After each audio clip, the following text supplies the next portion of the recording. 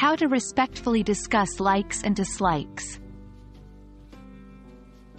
Hello, language learners.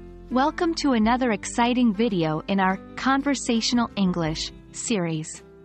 Today, we're focusing on an important topic, maintaining a respectful conversation while responding to others' preferences.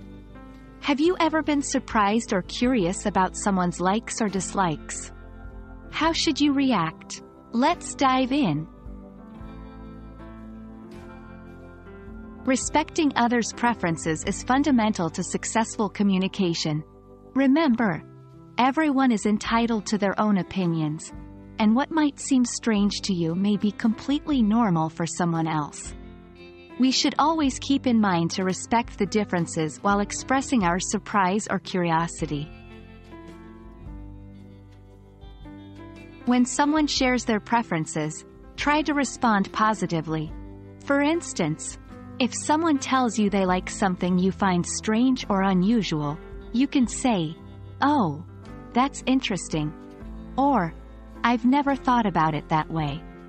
These responses show that you are open-minded and respectful of their opinions. If you're curious about why someone likes or dislikes something, it's fine to ask questions. But remember, the key is to ask respectfully.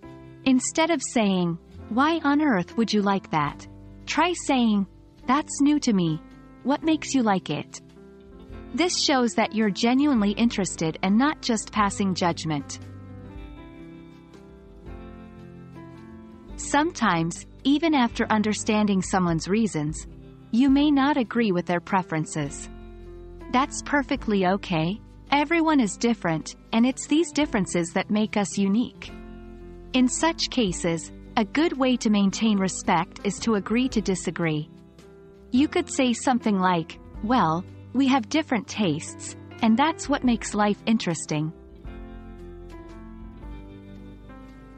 And that's a wrap on today's topic maintaining a respectful conversation while discussing preferences.